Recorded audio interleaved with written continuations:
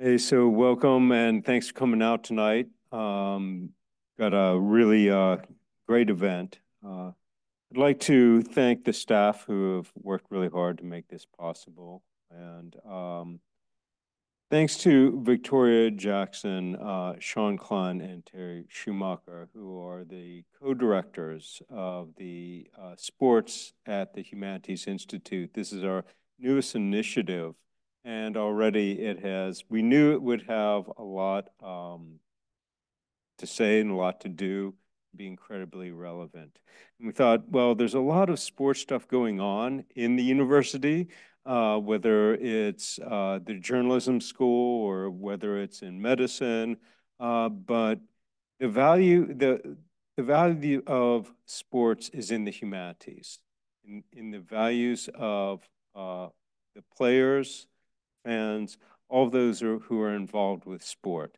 So why we why we're engaged with sport is because of the human endeavor.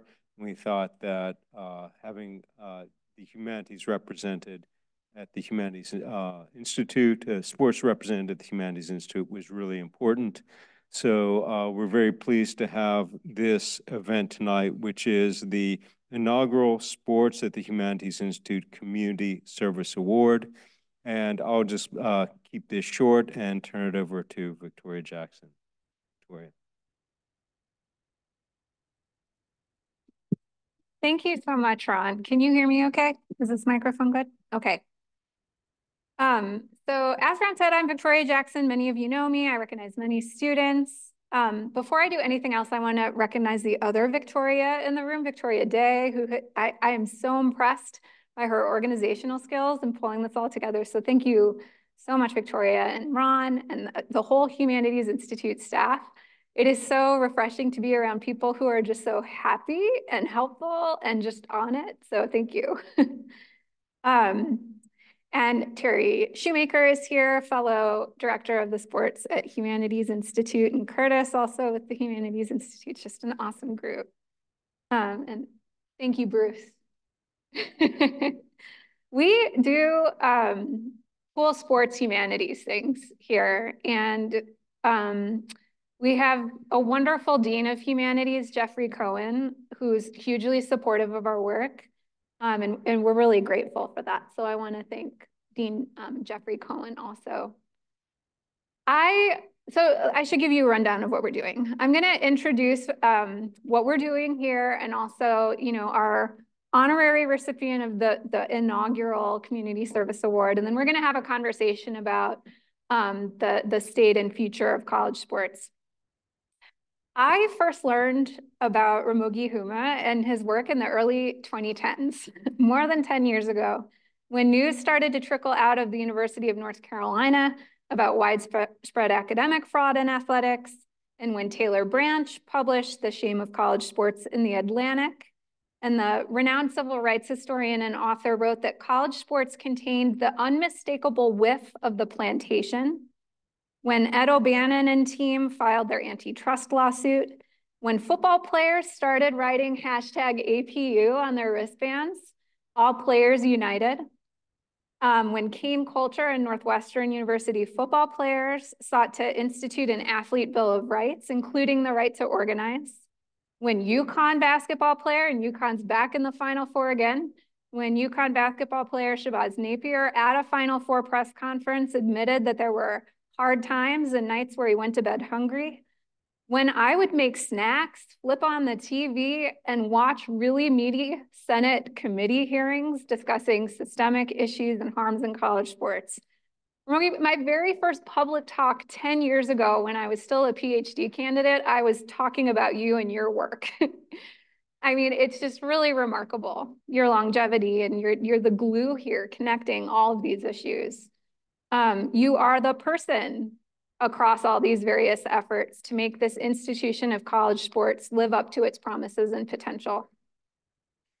I think this piece is what folks admire the most about your work and your approach. You see a world in which institutions of higher education can embrace the opportunity to make changes in ways so that everybody wins. And there's optimism and a collaborative spirit in what you do. And your goal and your North Star is working to make this very complex, complicated system, American college sports, truly and optimally serve the young people who come through it. Um, and I, I think that is why I value and appreciate your approach so much is like the clarity and the collaborative will to work with people to make this better. That, that is really cool. Um, so I'm going to read a brief bio and then we'll dive in soon um, to get into more detail about the work that you do. Uh, Ramogi Huma became an advocate for college athletes' rights while playing football for UCLA. There, he earned a bachelor's degree in sociology and a master's degree in public health, both of which inform his advocacy work. His Bruins teams won back-to-back -back conference championships in 97 and 98. And something I always do with students is remind like, we shine light on the athletic excellence also when we're talking about activist athletes and that it's even more impressive that they're able to take care of the work and do the job while they're also engaged in stuff off the field. Ramogi Huma is founder and director of the National College Players Association, a 501c3 nonprofit advocacy group that holds a mission to serve and educate athletes and to provide the means for college athletes to voice their concerns and influence NCAA policies. He has worked with thousands of college athletes on over 150 campuses to participate in actions in pursuit of improving their lives. Huma has held hundreds of meetings with lawmakers and testified in support of college athletes' rights in the US Senate and House of Representatives. So those hearings I was tuning into a decade ago, I was watching and admiring the way Ramogi conducted himself while speaking about these issues. Um, and, and not just at the US um, House and Senate, but also in state legislatures and city councils.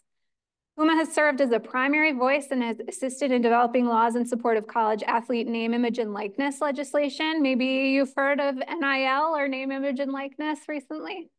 Um, and in over a dozen states, starting with California, and as well as the United States Congress. He has also provided expertise and witnesses to the U.S. Department of Justice regarding NCAA antitrust violations on multiple occasions, and served as a consultant in athletes' rights antitrust lawsuits. And there are many. White versus NCAA, Agnew versus NCAA, O'Bannon, Alston, Jenkins. His work has convinced state legislatures and federal courts that athletes' economic justice is a racial justice issue. His work has created the conditions for a massive general public shift in perspectives on college sports. For these efforts, earlier this year, Time Magazine featured Ramogi Huma as one of 18 Black leaders who are closers, working to end the racial wealth gap. And likewise, for these efforts, the Humanities Institute at Arizona State University is honored and thrilled to be awarding Ramogi Huma its inaugural Sports at HI Community Service Award. And I couldn't help myself um, I had teased you that I was going to get a big trophy and then was like, oh no, I'm not going to, but I did. Um, because you've done so much. So I, it, this is like a Champions League trophy where like, you know, the team comes together and everybody hoists it up at the end. So I did get you a big trophy, if you don't mind coming up. And, you know, we, we don't have to like put it up, but here you go. Oh, wow. Thank, thank, thank you, so, much. Thank you so much. This is, this is amazing. You didn't have to do this. I think it's Victoria's. now the biggest trophy I have ever. Thank you. Thank you it over here if that's perfect. You put it on the podium. Sure. No, I'm, I'm teasing. You can keep it down. it's big. She, she wants to put my back out. no, Victoria, uh, first, I just want to say thank you so much. Um, and the Humanities Institute for really keeping track of these issues. This is something that when I played, it was very difficult to get out in the open and have a debate on and much less make progress. So I really appreciate uh, the focus on this effort and looking forward to diving in and hopefully have some questions. Uh, don't be shy. I'm, I'm sure there's lots of questions that will be out there. Yeah, I won't be monopolizing the time here, so we want to hear from you too. And folks on Zoom, um, there's a Q&A function in Zoom and you can enter your, I'm like looking as if I can see you all. Um, you can enter your questions in the Q&A and we can address those too as well. Um, but I get to start. And I wanted to start by really grounding this and taking us back to a pre-moment in which everybody knows what NIL is and understands the economic rights of athletes and the labor issues involved, to an earlier period. And this kind of mentality and approach and understanding of college sports is very much alive and well. So it's not to say that it has gone away. But there's um, an idea in the United States that that um, there's this aura around being a college athlete and an understanding that this is a means, this is a vehicle through which people who might not go to college get to go to college and get to achieve the American dream, that it's a, an opportunity for underserved communities to gain access to you know, the nation's most elite and exclusive universities, and of course, I have to mention at this point that ASU prides itself on our inclusive mission, and we are not one of those schools that takes pride in its low acceptance rate and that sort of thing. And then there's also this kind of accompanying myth that college sports, athletes in college sports are living large, right? They're getting a world-class education, they're getting a world-class opportunity to play sports. Everything's paid for. They got all these people working for them. They're jet setting around the country. Like they're living the dream. They're big man on campus. Like everybody wants to be a college athlete. And aren't they lucky? And maybe as a, an ancillary kind of additional point to that, and if they're asking for more or complaining about their situation, you know, they're not great, they're ungrateful, they're greedy. Like, how dare they? I have all this college debt. You don't have any college debt. And so I think we should start by kind of situating this dream. Like, this is very much real. I mean, co college sports are where a lot of diversity exists on college campuses.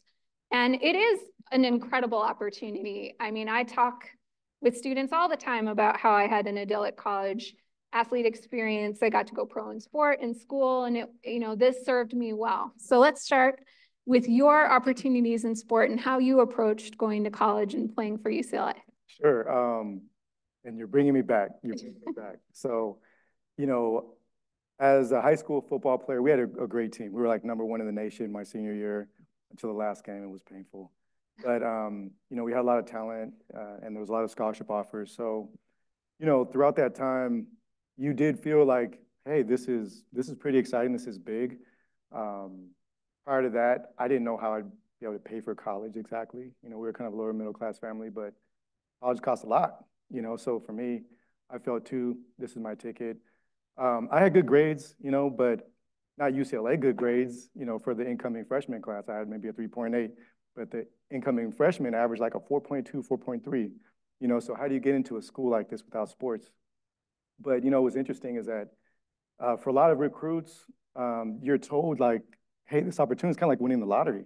You to kind of coast in there. You know, you don't have to worry about all the stuff that we have to do to get ourselves through college if we get there. And, and there's a lot. Look, there's a trade-off. I'm not saying it's not um, significant to take out student loans when you're a regular student and to work part-time and everything else. And that's how regular students put their their selves through school. And athletes is different. You put in a ton of time and, and there's a lot of effort, and that's how you put your way, yourself through school.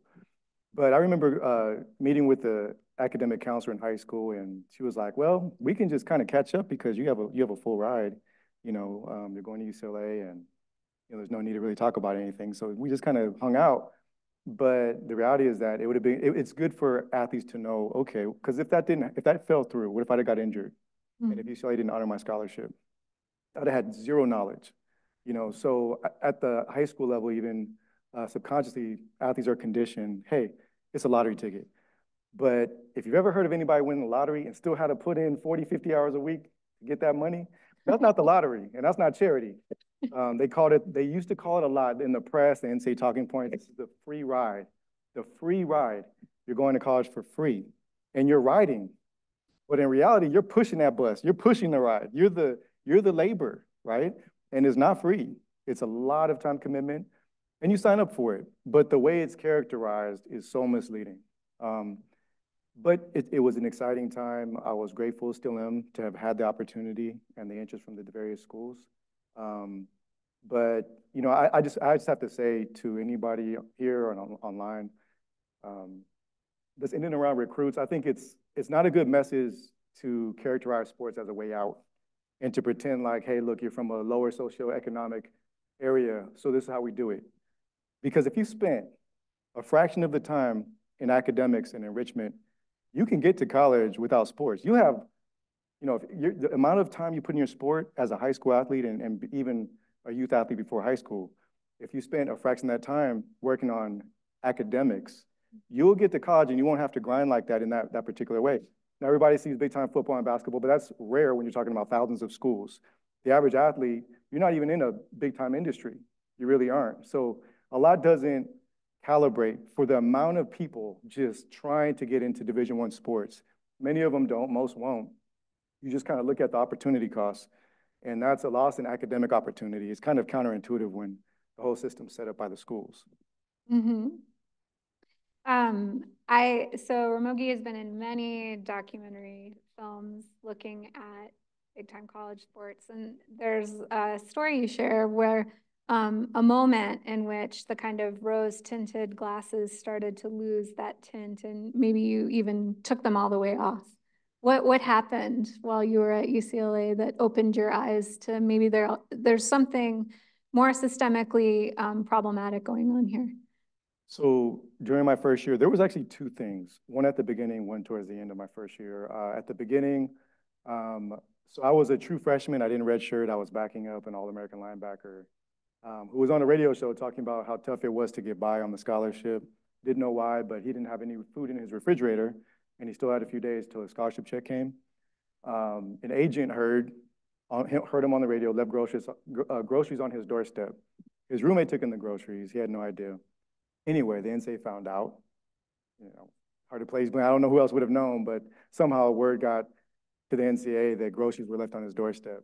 And when the NCAA found out, they suspended him because they said, well, you only got those groceries because you were on a radio show that's related to your athletic prominence. Basically, it's an NIL violation. And, you know, they suspended him. The NCAA suspended him. I had just passed the student store, went to the locker room, sat in a team meeting to hear this.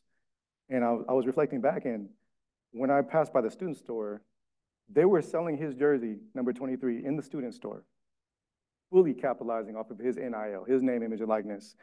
And they would have had, a, they would have rather seen him broke and hungry, you know, without food. And all American, we were 12th in the, I think number 12th in the nation at the time, 5 and 0 at the time, and he was a big reason why. And that was just hip hypocritical and unjust. And then going into summer workouts, uh, so-called voluntary workouts, even today, they're voluntary. Um, if you voluntarily want to sit the bench, sure, they're voluntary. um, but you know, most people want to get better in the summertime. It's a great time to develop yourself. But UCLA told us, look, if you show up to these workouts and get injured, uh, the NCAA has a rule where, where we cannot pay for any of your medical expenses because these are classified as voluntary workouts. And to me, that, that, was, that was kind of it. It was just like, this is crazy. This is crazy. How come no one has fixed this? How come no one's talking about this? And, you know, as I mentioned, I had some, um, you know, a, a, very good high school football team. And, you know, between talking to the, some of the guys in my class at UCLA and some of the guys that I knew at other schools, basically all felt the same way. And the thought was, well, let's get together and let's, let's push. Um, so that's two, two things happened my first year that really, I don't know when the glasses fell off exactly, but they, they were pretty much gone by, by the end of the year. And you started an organization as a student that later became the NCPA, right? Like that Yeah. was the moment that you started working on this. Yeah, so my, I had an older brother who was playing football at Idaho and he was involved in student government and I talked to him about it too. And he's like, you know, start a student group. If you're gonna do it, start a student group. At least you can reserve some rooms, you know, have a little bit of standing and kind of formalize a little, a little bit. Um, which I looked to do and we did. Um, which again, it sounds more impressive than it was. It was three people in a mission statement. You file it, that's it. You have a student group. But it did kind of create a structure of, hey, we have something now. Let's try to build something. We didn't know exactly what we were doing, where we were going, but that's how it started. And uh, that was 27 years ago now. That was 1997. I, I think um, there's kind of a foundation that was laid before um, folks like Ramogi and athletes could start addressing kind of the industry, the business approach, um, economic rights, labor rights, and that kind of foundational work had to do a lot with the kind of root cause of all of this, which is the power imbalance and the problematic power dynamics in big time college sports. Um, it is unbelievable the kind of chipping away and a restoration and a bringing up of power with athletes that has taken place thanks to and as a result of the work by Ramogi Huma's NCPA and we're and and shining light on athletes who are bringing these issues to the attention of organizations to kind of amplify those voices. Um, and you know, the overarching kind of myth that worked to justify all of this is this idea of amateurism. And in a collegiate space, it's like this merging of the paternalism of higher education with um, kind of the morality and purity of Olympic amateurism, that there's a right way to play sport, a sports for sports sake approach, that the Olympics have long abandoned. But the, the kind of paternalism of higher ed, that we know what's best for you, all of this is in service of you. And meanwhile, the business continued to grow. Um, that is how we end up in situations where all power lies with coaches and hardly any power lies with athletes. And those coaches are facing really challenging situations in which like their job is dependent on their ability to win. Um, no matter what the rhetoric is around developing athletes holistically or focusing on their educational and academic goals. So, um, you know, yes, we will talk about NIL and revenue sharing and collective bargaining. But before we get to that, can you explain this, I mean, like list off the scope of all of the protections and benefits that have expanded since the, the late 90s that athlete, athletes have been receiving? Sure, sure. And I think, you know, one of the big transition points was corralling players who were like-minded into just kind of speaking out in, in our own way at the time and then beyond because it took so much before you got to any of this change. Um, it took so much to break through the propaganda, like 100 year old propaganda, everything you were talking about, amateurism, student athlete, we got to take care of these athletes. Just to give you guys an idea of what that meant, the NCAA has a, a principle of uh, amateurism that says something to the effect that the NCAA has a principle to protect college athletes from the forces of commercialization. And what that meant was Nike's going to pay us for that logo on your body, and you, and you can't get a dime for that logo on your body. That's what it meant, right? But they literally say this stuff out loud. Um, so before any of that progress can be made, it was like, you have to break through and have a counter argument. You know, no one didn't, it seemed like we looked around and no one was standing up for the athletes. And, and so we kind of did it ourselves. But um, there's a long way to go. We still have a whole laundry list of goals, but there have been some uh, breakthroughs. I think earlier you mentioned uh, collaborating with the United States Department of Justice Antitrust Division, who we went to. I mean, really at the core of this, when you talk about the power dynamic, instinctively, we kept outside the system. You know, when we first announced ourselves and started, UCLA was like, oh, you know, why don't you come in here? We have our Student Athlete Advisory Committee, which they control and they set the agenda for. And they didn't even know about these issues. They had no idea that UCLA or these other schools would point to these SAAC committees as a solution because they were planning dances and they were um, encouraging each other to come out, turn out for each other's games. Had no idea that they could be stuck with medical bills during the summertime. Had no idea about anything, you know. And so instinctively, it was like kind of getting close to the flame, and ooh, that doesn't feel good. So let's stay outside. Mm -hmm. It's, it's with outside outside the system is where progress has been made. So the US DOJ, um, we had gone um, to request that they got get involved because basically, anytime the NCAA restrains schools from providing anything of value, compensation, medical care during summer workouts. Um, at the time, there was only a one-year scholarship. They capped it. You couldn't provide more than a one-year scholarship. Those are all illegal mechanisms. They're antitrust violations. So we went to the antitrust police and, and, and the compensation. We really went there with, for the compensation, among other things. And they said, oh, that's, that's pretty dicey. You're probably right. But, you know, they kind of listened and that was it. But a couple years later, they asked us to help them in an investigation on uh, the scholarship limit. So at the time, one-year scholarships were the, you know, some of you might remember, wait, wasn't there a time when they were four years? That was back, that changed in the 70s. The coaches were like, nope, we don't like this. We want to be able to get rid of players when we feel like it. But the myth still came because when I, I got offered in the 90s, they still called it a four-year scholarship. They lied. Everybody was lying. Everybody was a one year. They wouldn't even allow to offer a four-year scholarship. And that was business as usual. So the DOJ investigated. And when the DOJ investigates, they take it pretty seriously. Um, and it wasn't long after that, it might have been the same year, that suddenly the NCAA had to change their heart and allow schools to offer multi-year scholarships. So now today, especially a lot of Div Division One schools like Arizona State, there are multi-year scholarships, usually four-year scholarships, maybe five years if you redshirt. So that was important. You know, one of our goals is to been is to uh, increase graduation rates and and really hold schools accountable for saying, look, if you're going to recruit me to your school, then you have to provide the means for me to actually have a realistic chance to graduate. And, you, and that, a one-year scholarship that a coach can yank away at the end of the year, that's not cutting it. So um, that was a you know one of the big ones. Another one you mentioned the O'Bannon suit.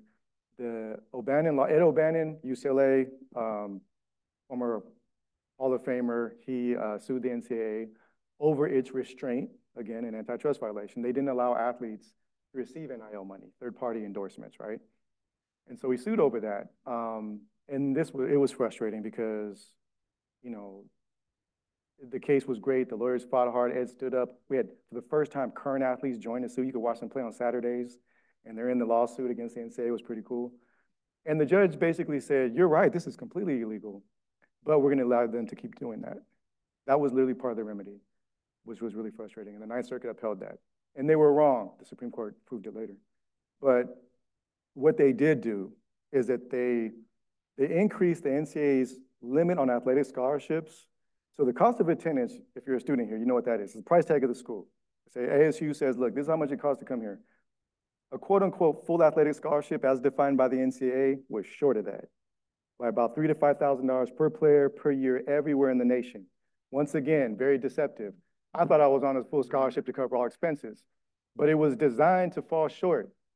No wonder my teammate was on a radio station talking about where's the food? Where are the, the basic necessities? No wonder they have credit card companies out there right outside the athletic department where you can sign up and get a free bottle because you, you know, you're a magnet. You need some money, they're gonna offer it, and you gotta you gotta survive, right? So thankfully, in that remedy, the, the, the court said you can no longer cap scholarships below the cost of attendance. So now schools have the option to provide uh, scholarships that, that, truly cover the cost of attendance. Um, and that was a big deal. That's, you know, millions and tens of millions of dollars transfer every year to, athletes across the nation. Um, and, and then you mentioned NIL, that was another big one. I think, um, well, let me go back because there, there's a little bit of confusion on the NIL and there's a, another big lawsuit, the Alston case, all right? So in 2014, I helped arrange um, the part of the Alston case that was the injunctive relief part that made it to the US Supreme Court, that basically sought to stop the NCAA from uh, restricting compensation to college athletes.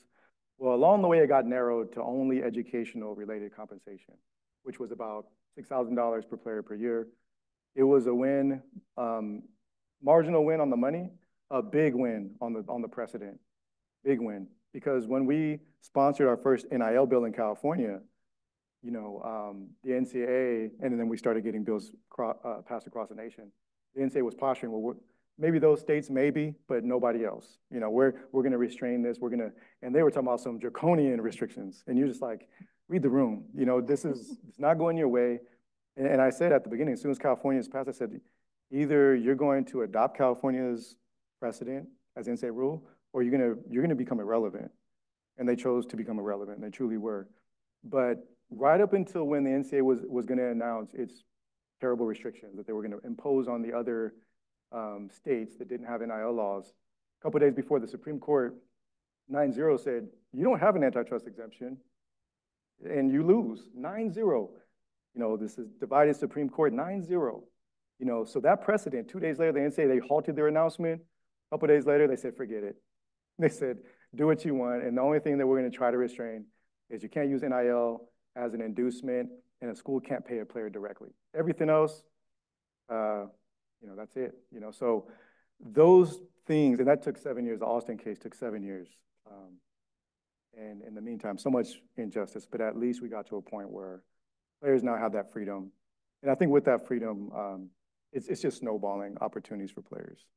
Mm -hmm. and, the, and the power dynamic is shifting. When I talked about you have to do this outside the NCAA, you have to do this outside the colleges, we're talking about state lawmakers passing NIL laws. We're talking about the U.S. Department of Justice policing antitrust laws. And we're talking about the, the lawyers and the players getting together in the judicial system to bring change. Mm-hmm. Yeah, thank you for walking through that.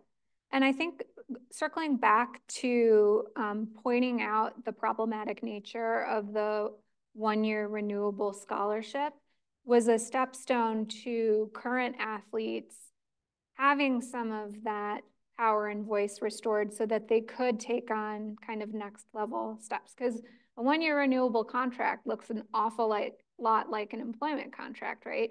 Especially if it can be canceled due to anything as simple as personality differences with the coach. Um, because the coach can say, well, you're not abiding by team rules, and the coach can make up whatever those team rules are. So restoring four and five year guaranteed scholarships, and some schools now, those are lifetime scholarships as long as you're in good academic standing. You know, what that means is if you go pro, if you leave in good academic standing, you can come back at any time and finish your degree and the, the school will honor that, that scholarship. Or if you get injured, if you have a career-ending injury and need to go on a medical release, um, the, the school is obligated to cover that. And, you know, prior to um, athletes, you know, literally giving the NCPA a call and saying, I need your help with this, you know, if you got hurt, you could have your scholarship revoked. And there was like no re legal recourse as a result of that. You couldn't have representation, um, you, know, all of this stuff. So um, that is kind of the foundation where then you could take on these bigger antitrust challenges. And the playbook here was to call it pay for play. I mean, the, the schools in the NCAA were calling increased spending on education pay for play. And it was spending on education. Um, the right of athletes to make money from third parties, just like all other students on campus do, that's NIL. Um, and, you know, I, I like to call NIL restoring to students who play sports the economic rights of all students. Because do we have any engineering, computer engineering majors in the room? Cool. We have we have a number. So if you like designed just the coolest technology and app and sold it to a company or if you're just like kicking butt and you interview with like a local company like Intel and they, you know, they want you. Um, you know, first of all, if you sold that app, it would be like front page news on ASU News, right? Because and then you they would be celebrating the fact that you sold it for X amount of dollars you know, you're an amateur while you're still working toward that major, but you can make money as an amateur and it's not like tainting your eligibility to continue to study computer engineering. Um, and so it was a restriction placed only on athletes. And again, it has to do with, you know, well, that's pay for play and competitive balance and all of these rules in place that really kind of allow schools to claim that they're serving students, but really developing things that have an, a possibility of causing harm. I want to ask you a couple silly questions. um, and then we'll, we'll talk about the broader business changes and where we're going, where we see this all heading. Um, so, you know, we've alluded to the California Fair Pay to Play Act. Um, it, you know, that was Ramogi Huma and some other folks too. So my first question related to that, were you, did you get to hang out at the shop with LeBron James and Governor Gavin Newsom and Newsom signed that bill into law? I, I Were you at the on the shop? No, I, I wasn't. I wasn't. That was a nice surprise. I woke up to. Um, I didn't see it live or anything. I saw that. I saw the replays, and um, I just thought because there was a big question of whether or not uh, Gavin Newsom was going to sign it, Mm. and um, you know, LeBron being a part of that, I think that's a great and just the way it happened, signing on the show. That's that's Cali for you, right? That's not Showtime. That's the Lakers Showtime, LeBron, and and um, I was just so relieved because I can't tell you, we've had plenty of bills fail. I mean, and months and months and years and years of failed, failed bills that had promise. And it wasn't a guarantee. So I was just, I was just joyful. I was just joyful. And then next thing, you know, it was like, well, how do we get this everywhere else? You know, that was just the transition because um, in terms of antitrust again, uh, Mark Emmert, the NCAA president at the time, were, was started to be started to make threats against California. And that was the most difficult part of getting a state to do something. Basically implying if you pass that law, we're kicking you out of NCAA sports. You know, maybe you're not in the tournament anymore and things like that. That's also an antitrust violation. That's a threat of a group boycott. It's illegal. Um, so after that bill was signed, I was invited to go speak actually at the antitrust uh, division at the USDOJ. Mm. And they said, well, just talk about things. And, you know, I kind of used it as opportunity. I said, well, I'm not going to waste this. So I talked about the antitrust implications from A to Z. And then I called on the USDOJ to investigate the NCAA for threats of group boycott against California for that very issue. And the, uh, the chief at the time uh, had conversations and publicly said, you know, in the Wall Street Journal, hey, we have concerns about this group boycott threat. When the NCAA was denying it was a threat, they immediately stopped making that threat. And that was key to us going to these other states because states like New Jersey that were smaller, they're like, yeah, California did it, but how can we do it? What if we get kicked out? Mm. So that was another kind of um, piece of the puzzle that was really important because for years, you know, California wouldn't go there. And I guess from by the time 2019 happened or came along, um, California had been in it with some of these other big companies threatening boycotts and things like that in California. California lawmakers learned eventually, well, they're still going to do business here, you know, and there's legal reasons why they, they can't do certain things. And thankfully, they were more hardened than they were when we first started out, and and that's how it got started. Well, on that team, Andy Schwartz and Mark Edelman and um, Representative Nancy Skinner and you, I have a follow-up is that do you all have like Power Ranger rings? Because it was remarkable what you were able to accomplish. I mean, this was the first state law that provoked all the other states to get their state NIL laws, which put all this pressure on the NCAA once the Alston opinion was uh, unanimous that, okay, we better just remove this restriction on athletes making money from third parties. Do you have Power Ranger? We don't have the rings. We don't have the rings. We have a, there's a picture that's pretty cool. um, but really it just came together like Andy Schwartz, he's, I credit him with informing me in the space so much about the economics of how this could all, things like this can work and not destroy college sports. You know, that was a big fear I didn't know about until Andy broke it down economically and then start to have the confidence, okay, we can, we can take a scalpel and do some things here. And Nancy Skinner, she had been listening to Kareem Abdul-Jabbar forever. You know, he's been, he's been on talking about this forever. So yeah. it just all kind of coalesced and um, it became a, a, powerful force. But I'll talk to them about rings and I'll let them know. Okay. that, that'd be pretty cool. You should get, you each get a color. and then do you and Cor Senator Cory Booker have, have your like something in the sort of a power ring because you've really worked together on this stuff for a long time. Senator Booker is amazing, and he likes to joke that we've both been working on this since we since we had hair. but he's just been, um, you know, in Congress. Just so you know, there's been a lot of attacks against college athletes' rights. There's been bill after bill after bill designed to strip all the stuff we're talking about, so much of it away, and give it right back to the schools on the platter.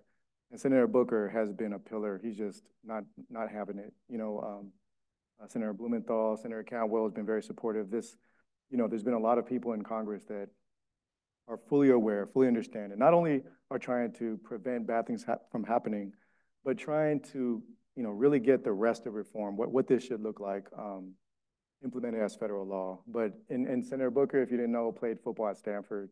So he lived this, you know, he lived this in a way. So it's like kind of just jumping back in the locker room when you have conversations. You know, it's it's pretty cool that someone can just get it. You don't really have to walk them through much. You know. Yeah. Um. So Senator Cory Booker played football at Stanford. Stanford will be in the Atlantic Coast Conference next year on the East Coast. Ramogi Huma played football at UCLA, which will be in the Big Ten Conference next year. I competed and we are all at Arizona State University and ASU will be in the Big 12 next year. So these three Pac-12 schools. and I bring this up because while folks like Ramogi Huma have been hard at work to build out protections for athletes, safety protections, um, we didn't even mention like the fact that we don't have a protocol for heat exhaustion after Jordan McNair died during an off-season workout at the University of Maryland.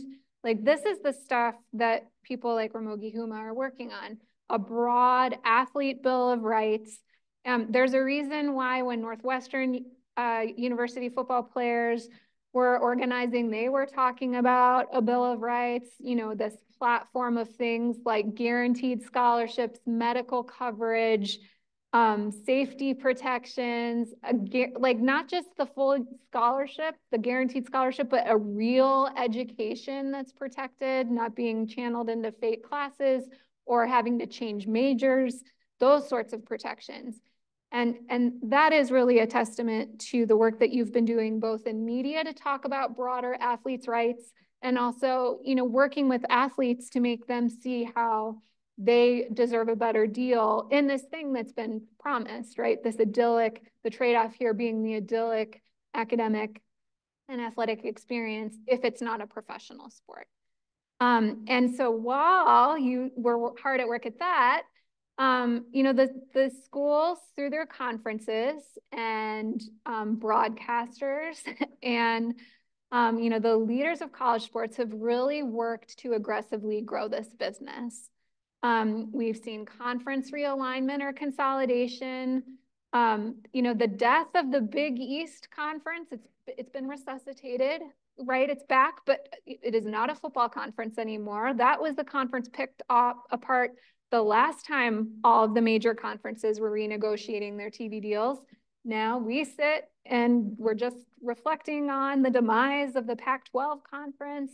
The money is growing as a result of that and the college football playoff, both its launch a decade ago and now its expansion means more money.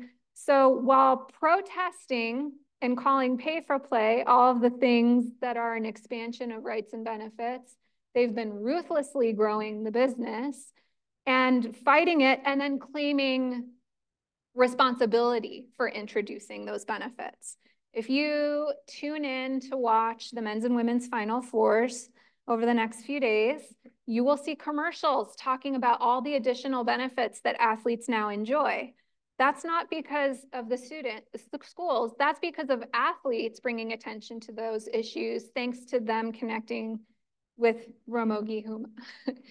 so let's talk about what you see conference consolidation as being um, and and the college football playoff expansion and these media rights um, negotiations, all of that. What do you see in all of that? What are the schools telling you when they make those business moves?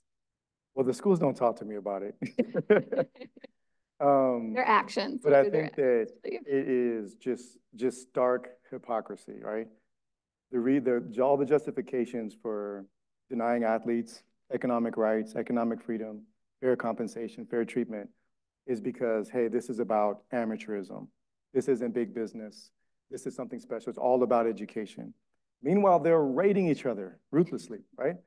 Um, and on the athlete, what that means to the athletes, for one, it makes our argument stronger. I mean, like all these different things, you, they may be getting more money, but it just makes our argument so much stronger.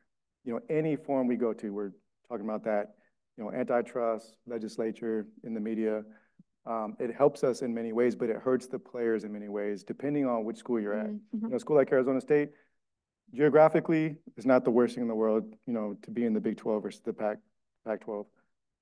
But Stanford and Cal, going to the ACC, and just if you don't know, the ACC is like the edge of the Eastern United States, just schools littered on that edge.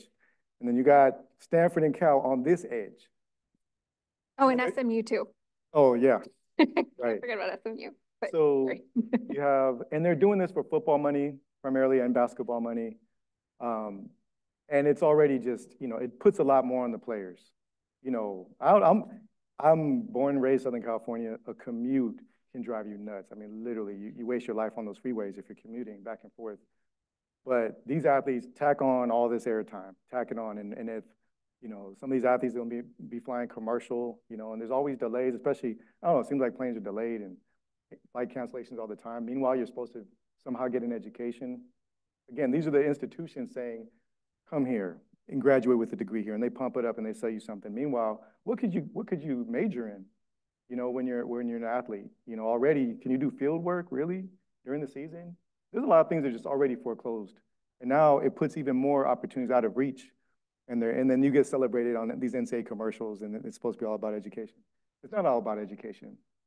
And, and on top of that, they're not even bothered to think clearly, uh, you know, bothering to think clearly about some of these things because they're chasing football and basketball revenue, but yet they're forcing all the non-revenue athletes, Olympic athletes, to fly across the nation too, as camouflage to pretend that it's not big business. That's all it is. As an afterthought, well, we just did it with these athletes, so let's just do it with all. And that's detrimental to them. They have no business dragging all those athletes across the nation. No business whatsoever. Um, and it's frustrating. And the other thing, you know, and I hopefully we'll get into a little bit because this is always like the boogeyman of pay, paying players what they're worth. But you know, they say, well, if we lose, we have to pay, start paying players money. You know, the other athletes, we may have to start cutting sports. You know, and and and that's just greedy of those football and basketball players. And hey, what about everybody else, right? First of all, in all this movement, did anybody care at all about Oregon State or Washington State? What, what's going to happen to their revenues and whether or not gonna, they're going to be able to maintain the sports, being the only two schools left in the Pac-12 with nobody else? You can't, it's two. It's the Pac-2 right now. You know, it's, the money just left. Nobody cared. It was cutthroat, right? Mm -hmm. Secondly, just to answer the question, because I already put it out there. Um, you don't need big football and basketball revenues to fund all these other sports. Okay, that's been the mantra, that's been the myth, and I can prove it because if you've ever heard of NCAA Division Two, there's a Division Two. You guys have heard it. It exists. They have scholarships. They have coaches. They have a lot of athletes, 100,000 athletes, about 300 schools, and they don't have big football and basketball money. They don't. And neither does Division Three. NAIA is another division, community colleges, high school. School-based sports, you know, it's this myth Division One says, hey, the only way we can have all this is if we have, you know, billions of dollars in revenue and, and, and all this other stuff's going on. And right there sitting, you know, the same organization as Division Two proving otherwise. And the money, even at these levels, the money to fund all, the other, all these other sports has been paid for long ago. Those thresholds have been passed long ago. You know, you talk about the college football playoff, all this new money coming in. That's money on top. Sports is recession proof, is COVID proof, it's everything proof. Money keeps going up. that you're watch to it, it's gonna go up. And they're always gonna pretend, well, yeah, we need every penny to continue funding all these non-revenue sports. It's a lie. It's an absolute lie. And we can prove it with the numbers. You look at the what they report to the government. Um, they're required to report their revenues um, to the to the government. So they say, well, you know, our revenues equal our expenses. It's miraculous how every budget zeroes out. I mean, I mean, to the if, if the last there's tens of millions of dollars, and if the last two digits are seven six in revenue, it'll be seven six in expenses. It'll be down. Wow, every dollar is accounted for for 99% of, of these schools. But you're paying your coach $3 million if you're if you're low budget, right. or you're paying your coach $8 million or $10 million. And you're saying that's necessary to have a program? So for example, I looked it up before I got here. So Arizona State, Division One, uh, total revenues most recently reported $107 million. Northern Arizona, Division One. Okay, maybe not FBS football, but they still have football. Division One, you still have football team and scholarships. They generate about $23 million. How do they exist? they shouldn't even exist, right? They should, they should be a myth. They should not exist, but they do. That's evidence. And yeah, maybe Arizona State has maybe 200 more athletes. Okay, maybe one and a half, maybe one and a half times the athletes that Northern Arizona has. Arizona State has, you know, more than four times the revenue. So it's not about preserving athletes and what it means to the athletes. They can do it much less um, uh, than what they're what they're spending. So, mm -hmm. you know, for this, you know, the conference realignment, the cutthroat activity that's going on, it just further exemplifies what this truly is. So when they go to court and they go in front of the National Labor Relations Board and they try to pretend this is just about amateurism, we got evidence. We got evidence. No, it's not. This is cutthroat. This is business. And treat these athletes fairly. Yeah, and I mean, we've been in conversations where we've pointed out, you know, there's an effort to place a cap. Well, there is a cap on what athletes make, right? Because there is compensation, which is happening, which is grant and aid and cost of attendance and the stipends from the Alston decision now and all of that. Like that is compensation. It's just not fair compensation um, and not reflective of the market value of the athletes and the sports that are bringing in, especially the media rights monies. And so, um, you know, we have both been in rooms where there are um, senators and representatives introducing bills on the Senate side and the House side um, you know, trying to get athletes not classified as employees. So it'll be like, we'll create this entity to be a clearinghouse for NIL deals. And by the way, we're also going to say that athletes can never be employees. And, and that would be something where they're getting an antitrust protection or exemption, right? Uh, uh, limited liability protection or whatever they're calling it instead of an antitrust exemption. Well, they're not asking if they can place a cap on coaches' salaries. They're not asking if they can place a cap on the monies that schools spend or the distances that teams travel. And so that really tells us what this is all about. Um, and it, it's that competitive arms race because there isn't a cap placed on spending in those other categories that means that it's just a bad business model. And that's why I think both of us have assu had assumed over the past 20 years that smart people in higher ed who pride themselves on being innovative and you know leading the world in new directions would recognize that this is a bad business model and do something to fix that bad business model and redesign all of this and that's why i've always appreciated your work is that i think you believed like oh well if we just show them this they'll know they need to fix it and that's been the hard part is that that hasn't happened so we're still in rooms with senators and representatives trying to block bills that slide in the athletes can't be employees stuff.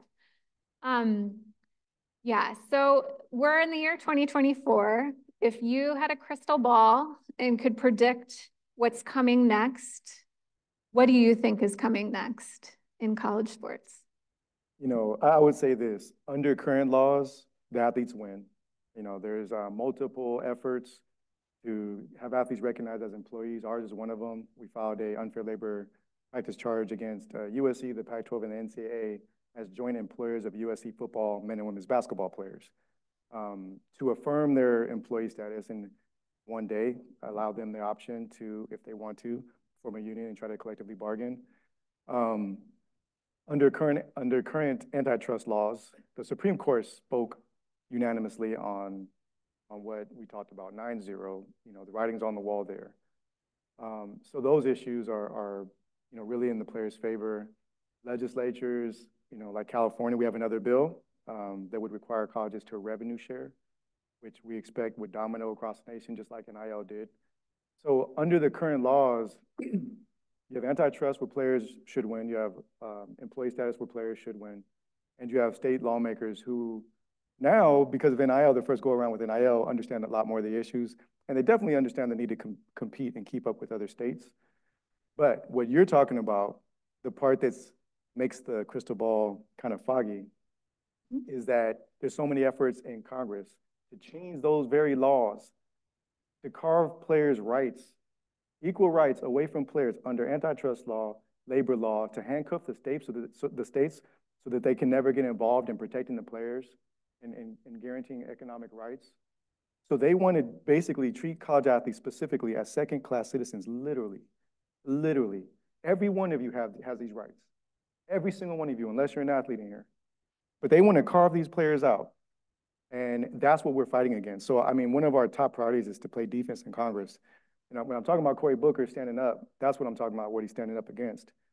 That's the X factor. Um, and we, you know, it will, it will continue to fight it out. But I think Congress right now, not likely for things to happen this year. It's an election year who knows what whatever things happen uh, next year. But I think in the meantime, if we get some wins, um, it'll start to cement. Like before NIL, the NCAA wanted to, they had proposals to take everything away before the app, before NIL became effective. Some of the laws had passed, but it hadn't become effective yet. The NCAA tried to race there and take it all away before it happened. Once it happened, you got money in players' pockets on NIL. In those very states, those lawmakers didn't, you know, they weren't really receiving that request the same way. Like you're telling me I got to take money out of the starting quarterback's pocket out of Florida State or Alabama, or that's just not really going to be feasible anymore. That moment has passed. So um, hopefully we'll get some wins before there's any real uh, momentum in Congress to take it all away, to prevent it, to prevent re mainly revenue share um, in employee status. The reason employee status, you know, you, you have to have a means to break open these, these avenues, right? and um, and potentially empower players, you know, to you know if they want to choose to collectively bargain. But I will say this too: really important for players to be discerning right now.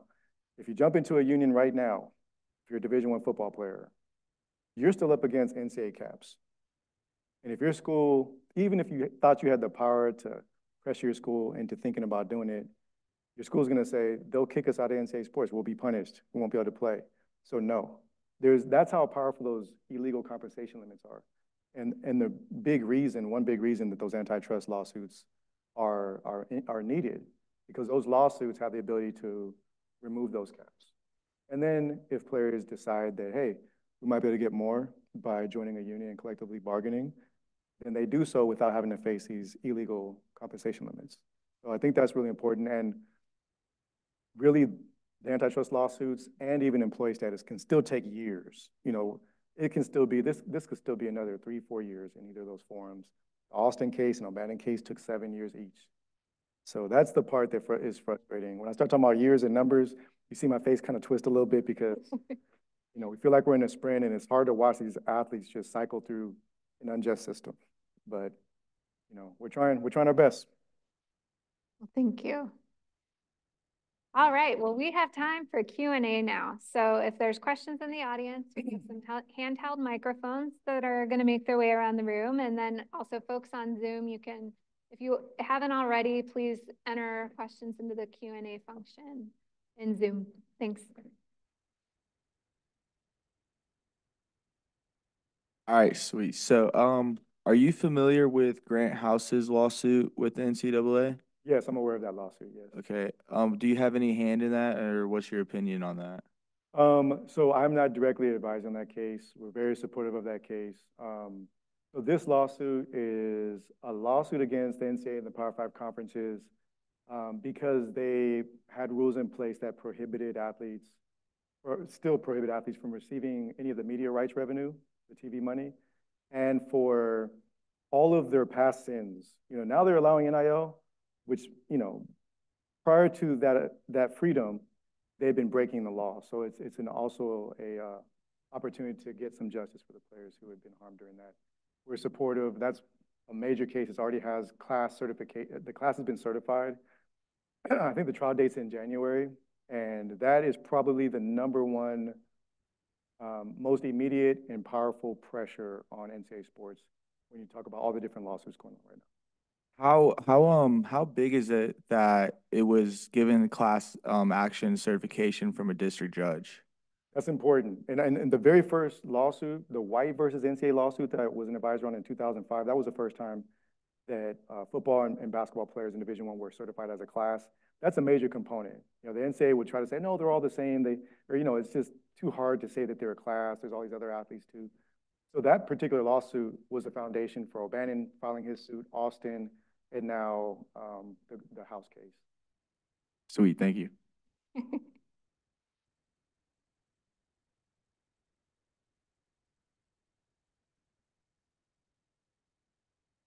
so you're you're a UCLA guy, um, so you obviously hate USC, is my guess, right? So how do you feel about Reggie Bush, and do you think he deserves his Heisman back? Give that man his Heisman back. Look, I'm a Bruin and I hate USC on the field. Um, love the players, okay, because you know this is about this is higher than more important than that. And in that vein, in that spirit, give him his Heisman back. The NCAA was wrong in the first place. Literally, he got punished. He, that was a symptom of an illegal activity. The illegal activity that truly happened was these antitrust violations. The NCAA saying, no, you and your family can't get anything of value because of your NIL. And look at today, you know, um, you know, it's been validated. And the NCAA is having to, now they celebrate NIL, right? Every, every, every school now, oh, look, our athletes, they have juggernauts. We have support for NIL. You know, what's the difference? You know, and I just think it's a shame. You know, they, that NIL benefit back then, it didn't superpower his running. It didn't make him any, he, it wasn't steroids, right? I mean, give that man his Heisman back. He deserves it, period. There were people in prison for violations of NIL rules because they, you know, it's like, it's like how you get folks in the mafia, how you get them in prison, which is like, it's under the table money, so you're breaking laws about reporting income and those sorts of things. So the Adidas, or the FBI probe into the Adidas money that was running under the table to basketball players. Um, there were, there was an Adidas exec and a former assistant coach who were in prison the day the NCAA lifted the restriction on athletes from making money from third parties. So li- literally the things that they had been forced to go underground to do were now allowed to be above ground. And they were still in prison. And Jamal Murphy wrote a really good interview with one of those people. So check out Jamal's piece on that. I'll just say, I mean, gosh, I'm glad we're past those days, but the FBI enforced, basically was enforcing illegal NCAA rules is what was going on. I mean, our, hope was, hey, investigate the NCAA for the antitrust violations. That's, again, that's a symptom. Whatever's going on under the table is a symptom. The real problem is that, you know, these schools are colluding, conferences are colluding with the NCAA to prevent these types of exchanges from happening in the first place, you know. So that was, there's been times where it's been, I, I get why the schools, the conferences and, and the NCAA want to do this, mainly because it, it gives them more money. That's, that's it, right? Um, but to see some of the parts of the federal government, you know, start to enforce these things or become complicit in certain ways, like you mentioned the unionization effort back in 2014, um, the only ruling on the book so far um, well, now there's, you have Dartmouth now, but at the time, you know, the regional, the region agreed, yes, Northwest, Northwestern football players are employees. And Northwestern appealed it to the full board. And the full board refused to make a decision. They say, we just don't want to touch it. And imagine that court, what if a judge in a regular court just says, ah, we just don't want to get involved? You know, it's like, well, it's either yes or no, right? We deserve our day in court. But I felt at that point, the federal government was, on that part, the NLRB was complicit in, and looking the other way. I felt, I felt like the Department of Justice went back to them in, I think it was maybe 2009, 2010, and asked them to get involved on this antitrust violation on compensation. They refused. There's been times where it's been very discouraging. You're not just up against the schools, you're up against, you know, people who have heard one side of the story for so long. And when I say 100 years of propaganda, it, there's consequences to that, you know. So the players who have stood up over time, the brave souls who have, who have stood up, you know, just even in the media, uh, in front of lawmakers and, and stepping up to be a part of these class action lawsuits, they've changed everything. And, you know, finally we're at a point where people are actually listening, you know, listening to the numbers, listening to the facts. And um, like I said, there's, I, there's a lot of momentum. I feel like the winds that are back in a sense, but Congress can take it all away. And that's, that's a scary prospect. Hello. My name's Andrew. Oh, hi. Here we go. Um, so I wanted to ask earlier, um, in your discussion, you were talking about you, there's some lawsuit that you filed against USC, the Pac-12 and the NCAA. And it got me thinking like this upcoming year, the Pac-12 has pretty much ceased to exist and the college sports landscape is one that's constantly changing. Players graduating, conference realignments, programs dissolving during COVID, you know, we saw. How does this environment being so different from pretty much any other business, any other economy, how does it affect what you do in your business or your organization? That's an interesting one because that might have some effects. I mean, and I, I can't get too much into that in terms of the Pac-12. You know, as is the Pac-12, they still exist, but USC is leaving the Pac-12. So there's some questions there.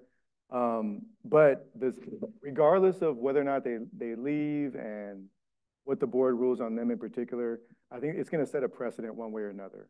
You know, our hope is that I don't expect the judge to dismiss the Pac-12. And as long as the judge makes a ruling that includes the Pac-12, it'll set a precedent that can be applicable, you know, other places. Um, USC is a private school, and the NLRB, they only have jurisdiction over private entities. The conferences are private. The NCAA is private. It's different than ASU. ASU is a public school, so the NLRB doesn't have any direct jurisdiction over ASU, for instance. So um, if we win in the USC case, then there'll be implications for about a third of Division One schools that are private. And regardless of how it all shifts around, conferences realigning and all, they're, they're private. And um, the one kind of more, I guess you could say, novel argument in this particular case is that obviously we're talking about three employers, that, that's called joint employer, um, which isn't a typical, it's not really a typical argument. It's, it's more difficult to, uh, to prove. But, um, if we can prove joint employer, uh, arrangements exist for USC football and basketball players, then basically there'll be precedent for all the other, uh, private schools and conferences. And the NCAA, um, if it exists, I saw some today, there was a question of whether or not the, this proposal is being floated about the, the power conferences leaving the NCAA, and you don't know how it's gonna go, but one way or another, there's, there's gonna be some private entity that's gonna be, you know, governing in some, in some way, which will likely have employment, um, implications.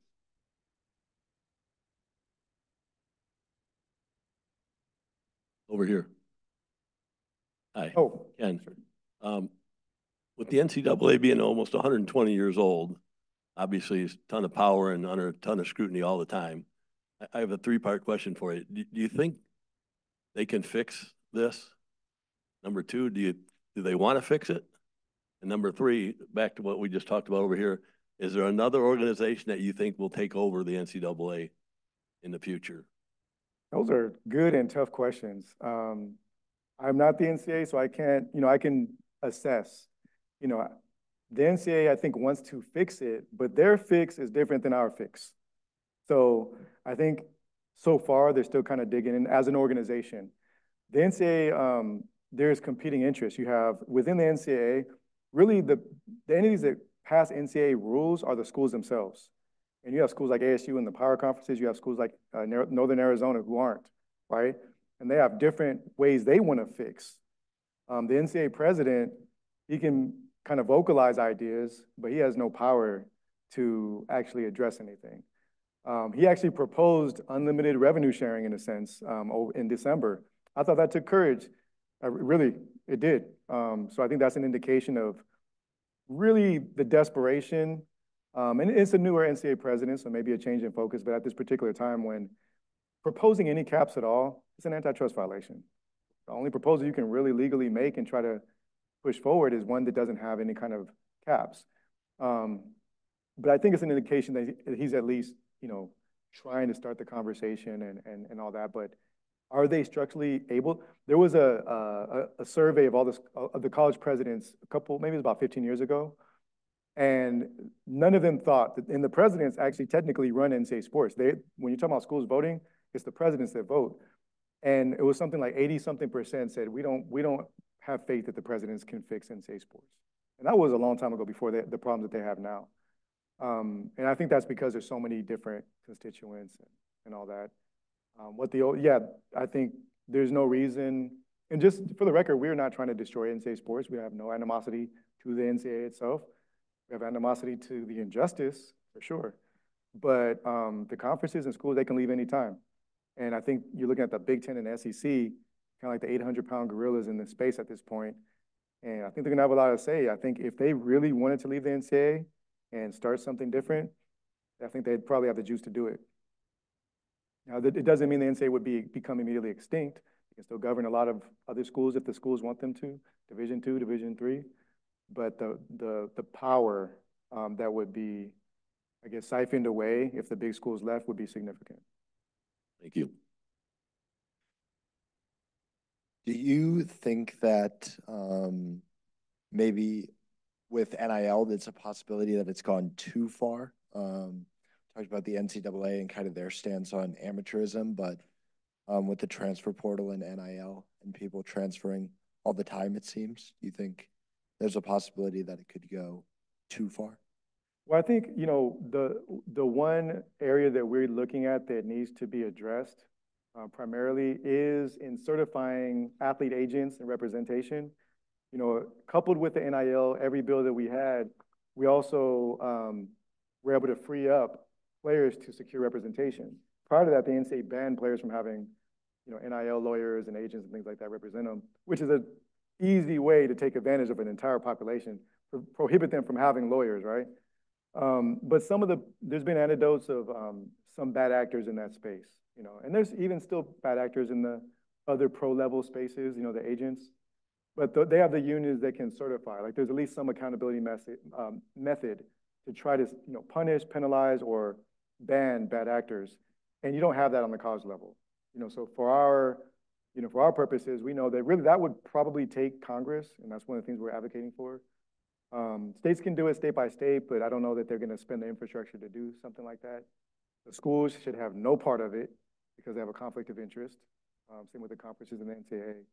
I think that's the main area, but in terms of freedoms, you know, really there's two ways this goes. One, legislatively, there's a way to kind of design things. Um, or there's basically what you're kind of describing is the, is free enterprise, right? America, America. So nobody here has, has restrictions in terms of transferring from ASU to another school, right? You have complete economic freedom. Another school might even offer you a scholarship. Another school, if you're a genius over here and they saw that the engineering student did something magnificent and they want him to go do, him or her go do grad school there or whatever, they can, they can poach, they can do whatever they want, and people would celebrate that, right? Um, athletes are no different, right? I mean, there, there's, there's no real credible reason to say college athletes shouldn't have those same freedoms, you know, and I will say that kind of wrapped in what Victoria mentioned before was that these schools aren't capping coaches' salaries. They're not restricting coaches. They're not restricting coaches from going from one school to the next, right? So like Lincoln Riley, he got poached from Oklahoma by USC. Nobody, there was no uproar. I mean, probably in at Oklahoma, there was people upset. It was not a matter of Congress. It wasn't a matter of, hey, we have to stop this, right? All the assistant coaches that leave, come in and come out, they leave with the playbook. They, they'll leave with Lincoln Riley's playbook go to a rival with the same playbook. Nobody's nobody's bothering to, to, to worry about that, you know. Um, and and so the other thing, when you look at the pro level, at least they revenue share, right? I just mentioned ASU, 107 million dollars, Northern Arizona, 23 million. I think Ohio State's at 250 million dollars. All right, they're not revenue sharing for competitive balance, right? They're not doing that. No one's even trying you know, if anything, Michigan, the Michigans and Ohio States and the Texas schools, they love the fact that they have the most money and they can do whatever they want. They have an advantage over Arizona State because they have more than two times as much money as Arizona State. That's an advantage. They, they, they embrace that, they love that. But when it comes to the athletes, it's like, wait a minute, what if one school can afford to, you know, somehow arrange a better coach or there's a collective and there's a, a stronger magnet here or there? There's nothing morally wrong with that. Not in America, not in all of the other elements of college sports. And if you look, you know, there's argument to say there's actually more parity now. It's almost like you have um, the talent was concentrated in just a handful of schools by and large. And now you're starting to see it disperse a little bit, you know? So when you're talking about competitive equity, and Andy Schwartz predicted this, who's a, you know, one of the top economists on this whole thing, he said there's going to be, the talent will be more evenly distributed once you open up kind of the free market. So if it's about competitive equity, there really shouldn't be many restrictions, right? If it's about eliminating hypocrisy, there really shouldn't be any restrictions. It's about, if it's about making sure there's no caps on compensation, like the coaches have and Texas has, and there's nobody revenue sharing or anything, why come down on the athletes to pretend that competitive equity exists? So that's our position. It wouldn't be evil for, for some kind of legislation to come in and balance some of these things. Um, that's one alternative. Or the other is you strike down all of the illegal activity and you let and you enter the free market and you let the players benefit however they want. We have a question from Zoom. Two-parter, kind of related to what you were talking about. What do you think about proposals to privatize football and move football teams off campus where players play football first and have the option to go to school later? And related, if you could design a new college athletics model from scratch, what would it look like? All right. Um, well, the first one, you know, if you heard the question, and this has been something floated, I think among academia for a couple decades at least since I started paying attention was, hey, let's get rid of football off of campuses. It's a distraction. It you know, it's counter to our academic principles. It doesn't really fit. But for me, you know, what we look at is what are the great parts of college sports? You know, we talk a lot about the bad parts because we need to. The NCAA pats itself on its back all the time. Okay, we don't need to really do much more, but there are good parts. And I think that, you know, from our perspective, it's a good thing that sports are actually on campus. And there's a way to do it. There's a way to do it that's better than what is being done now. Um, so, and I think it's fun for the, for the, you know, the players to be involved and immersed. I think it's a, it is a great education opportunity, even though they need to be made better. Um, I think it's great for student life on campus. It's tremendous advertising. Um, and I think if you move that off campus and you just license it out, you don't, you don't get the same product. And I don't think you get the same eyeballs on the screens. Um, secondly, if I could start from scratch, I can't even, I'm trying to wrap my head around that. That's like a dream. Um, probably can't, you know, dot the I's and cross the T's. But uh, one, there's enforced safety standards. Right now, if, if you don't know, Victoria mentioned it, there are still no safety standards that are enforced in college sports. So there's no concussion protocol. If you see a player stagger back into the game and throw up, which we've seen on television, the NCAA is not going to investigate. To this day, to this day, you've seen the terrible, terrible headlines, headline after headline, sexual abuse of athletes over decades and decades, hundreds and hundreds of athletes. Not an NCAA violation. They will not investigate. They will not punish anyone. And some of the people involved and complicit in that, they're still on college campuses.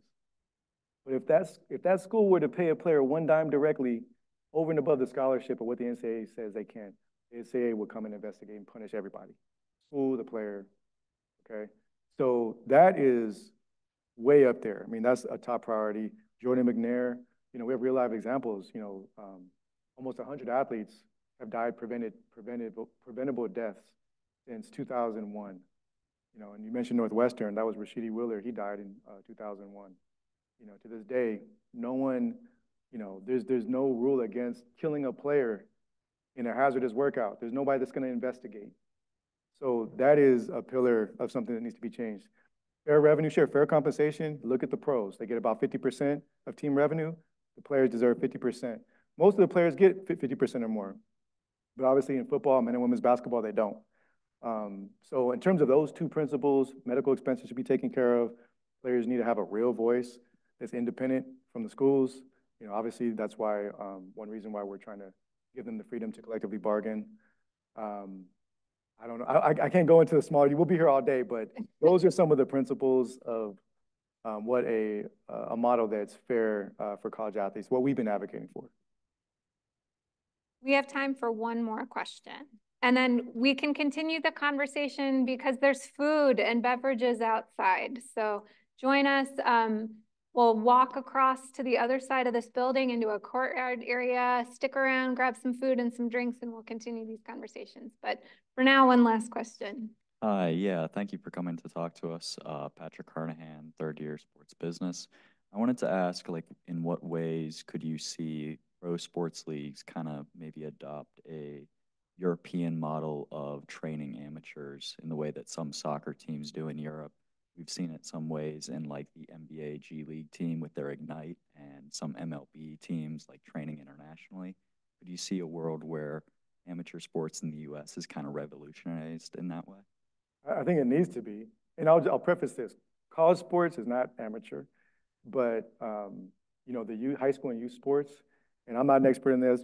Victoria knows a ton. Tom Farrey, he's the guy.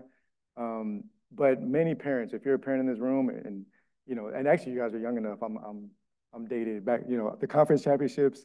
Those were the Pac-10 conference championships that my teams won a long time ago.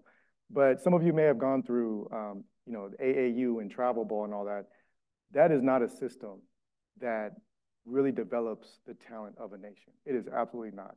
It's a system that you know, capitalizes on dreams of parents and they, they take a lot of money from the parents. They take a lot of time from these families, not a ton of development. There's a lot of burnout, a lot of overuse injuries. It's a mess. You know, our nation isn't reaching its potential because of how, you know, that's all run. And, and there's a profit motive in that.